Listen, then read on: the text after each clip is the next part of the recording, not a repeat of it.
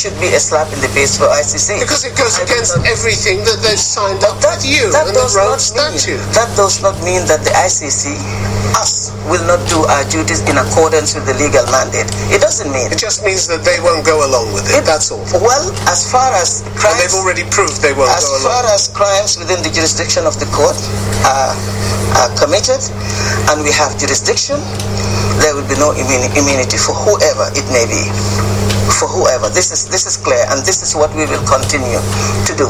This is our mandate. What others are doing, unfortunately, is not within my legal mandate or that of the court. So, but I also want to say something. Setting up a court to try these atrocity crimes is also not against ICC's uh, principles. In fact, ICC is a court of last resort we will be encouraged by national jurisdictions taking up their responsibility to investigate and prosecute these crimes and also trying to set up other courts to deal with these crimes. This is why the ICC was set up, so that when these courts don't function, when we have jurisdiction, the ICC can step in as a court of last resort. All right. Madam Prosecutor, you come from the Gambia. You come from a country with one of the worst human rights records in Africa. You served a dictator with one of the worst human rights records in Africa. In September last year, Human Rights Watch reported that the Gambian population lives in a climate of fear in which government justice and accountability for abuses is utterly beyond reach. Why are you silent about the human rights abuses in your own country? Because it is not my duty or my responsibility or does not fall within my mandate, particularly as prosecutor of the ICC, to pronounce to advise, whether favorably or not, any government, including my government, on political issues. And, and not to say where you see clear abuses of human it is, rights? It is. I have not done it for any other country. I will also not do it for my. You didn't mind wagging your finger at the uh, Security Council and reminding them the of their inaction. Council, we have a relationship in which they referred a situation to us. You didn't mind speaking and out over Burundi or Central African Republic? Because when I speak out, and I want this to be very clear, anywhere that I speak out and make a declaratory statement, I am urging people not to commit crimes that fall within the jurisdiction of the ICC. This is my responsibility. And, I am and not the, the Commissioner for Human Rights. And I'm a prosecutor. Yeah, and the and, Human Rights and Watch reported that crimes in Gambia included by state security forces and militias arbitrary arrest and detention, torture, enforced disappearance, and unlawful killing. Something which might fall within your remit, reasonably be expected to fall within your remit. What would be so wrong in you warning them against doing that? Uh, because, what would as I so said, wrong? what's I the worst that could happen to you, Madam As a prosecutor, it is not about myself. It is about my legal mandate. But you have huge independence.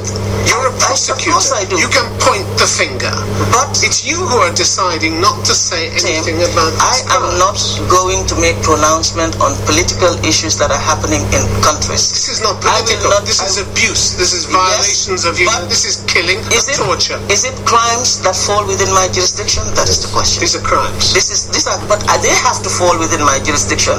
It should not be so difficult to understand that I'm a prosecutor, and under the Rome Statute, my crimes are war crimes, genocide, and crimes against humanity. And you, you and, and those saying, crimes, and those crimes, even where they occur, must satisfy the gravity threshold to warrant the intervention of the ICC. And you're famous ICC, for saying, and you're famous I, for saying, Madam Prosecutor, I like to see that the victims know that they have a voice, yes. but not in the Gambia. No, not, uh, not I, in I the Gambia. This is they don't. unfair to say. It is unfair to say because, as I told you, I go after crimes that fall within my jurisdiction. Not any crimes.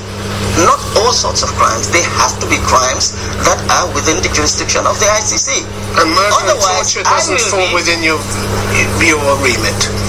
When we look at situations, when we decide to look into any situations where we feel that our crimes have been committed, there are several issues that we look at, including gravity, warranting the intervention of the ICC. I must not raise expectations so much that I am not able to to satisfy that. It's it's not possible. Madam Prosecutor, committed. the helpless, the dispossessed, the abused, die when people like you remain silent, don't they? You know this to be true. You, all around the world, people are dying because important people are staying silent. Tim, How can you stay silent? I when you know that human rights abuses are being committed, and you have the chance to speak out. Because what's the worst that can happen to you my court is out? not my court is not a court of human rights. I must also remain independent. I must remain impartial. What do you want And to be what- known for? What I do you want to be known for? what- Staying if I silent not- talking out? I have been talking out where I can talk out. Where I cannot, I will not, and I will not be dragged into um, saying something which can jeopardize my independence in the future or my impartiality. That is why when these crimes have happen in a place where I do not have jurisdiction, I will not pronounce anything. I will not because it is not my jurisdiction. I do not have the legal mandate to do so. This is why I will remain silent. But where I have jurisdiction, and I say this without fear or favor, where I have jurisdiction and my legal the legal requirements are met for me to intervene, I will not hesitate. I will not hesitate to intervene where the legal requirements within the Rome Statute that guides my action, where they are met, I will not hesitate.